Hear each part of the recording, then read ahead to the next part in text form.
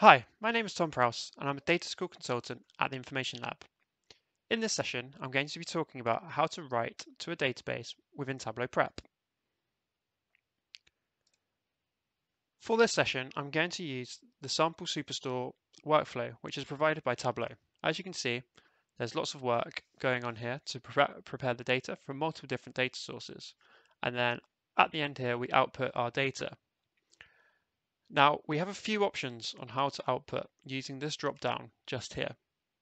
So the default one is to a file, but we can also choose publish data source, which is the Tableau server, or the final option here, the database table. So if we choose database table, notice how this settings pane changes slightly, and then we have to select our connection. So choosing the drop down here, notice how we have the connections which we've already connected to. So this is a connection which I've already created. And we've also got some new connect connections here from various different uh, data databases. So if I just choose the PostgreSQL, this is where you add in your credentials.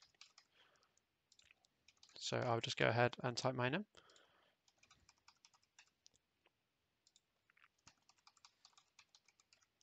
And then I can press sign in. This connects to my Postgres database. Um, notice that it sometimes opens a new data source here, but we can delete that. And then go back to our output file. And notice how I can now select a server and it's my local host.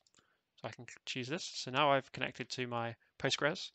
There's also a new data source in the connections pane up here so I can with our tables which are from our database.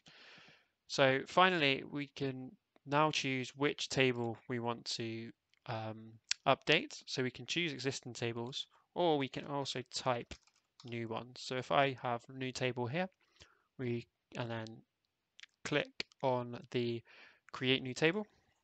This will create a brand new table for me, so I can write to uh, a new table which isn't already there in the database. So for the when the data refreshes, I have a few different options. So from this drop-down menu, the, the first one is create a table. So if I wanted to create a brand new table each time, I can choose select create table. Now this will, uh, if the table already exists, it will be deleted. So bear that in mind. Uh, the second one is append to data. So this will just add the data to an existing table. Um, and create the table if, if it already if it doesn't already exist. And then finally replace data. Now this will replace any data which is already in the table with just the table from the workflow. And again, it will create uh, the new table if if it already doesn't exist. So we're going to choose the the default option here, which is append to table. So it hasn't already been um, created. So notice how we can't uh, match up any of the fields. So then again, if I choose create table, we get a warning here just to say that we may lose some data, um, which is fine. So if I choose create data, now notice how there's the visual aspect here within Tableau Prep of the field mapping, which makes it super easy to see where my, my fields are going. So this is quite a simple example, but sometimes you can get some uh, complicated kind of um, scenarios where there's different fields going to different uh, different names within the database. So this makes it super simple. Then all we need to do there is run the flow.